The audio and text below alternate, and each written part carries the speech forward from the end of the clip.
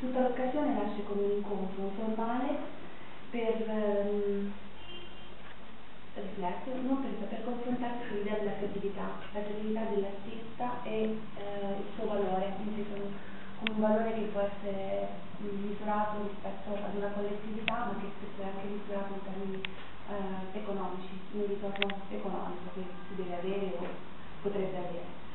Ehm, l'idea nasce da due considerazioni, questo tema diciamo, di riflessione. La prima è eh, la visibilità raggiunta dall'artista e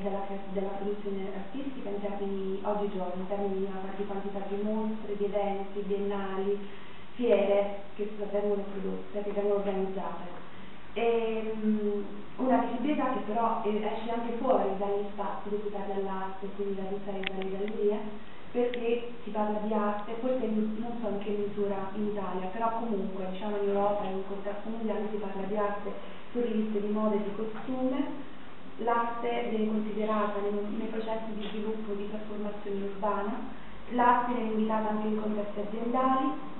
come stimolo alla formazione di determinati skill per manager e dipendenti. E insieme alla visibilità raggiunta dall'artista, il secondo aspetto che l'osservazione diciamo, che ho fatto è quella che c'è una centralità della produzione artistica nell'attuale sistema economico e politico. Mi spiego, cioè oggigiorno, specialmente nel nord Europa, credo in Italia forse in misura minore, però il, um, lo sviluppo urbano, comunque il futuro di una città e di un modello anche economico diciamo, di sopravvivenza,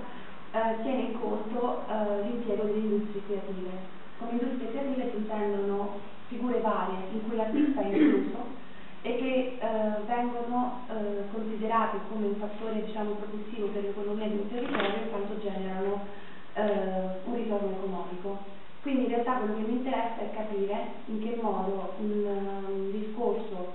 ehm, delle industrie creative ha un effetto rispetto a come eh, l'artista si sente, rispetto al suo valore a quello che fa anche. Quindi non solo l'oggetto che produce come opera d'arte, ma la stessa figura, come viene istituzionalizzata,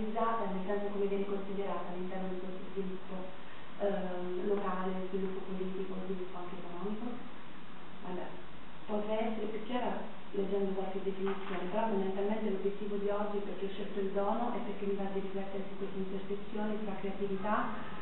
eh, in senso lato, quindi creatività artistica e eh, mondo economico. Il mondo sociale viene anche, infatti nel, nel dono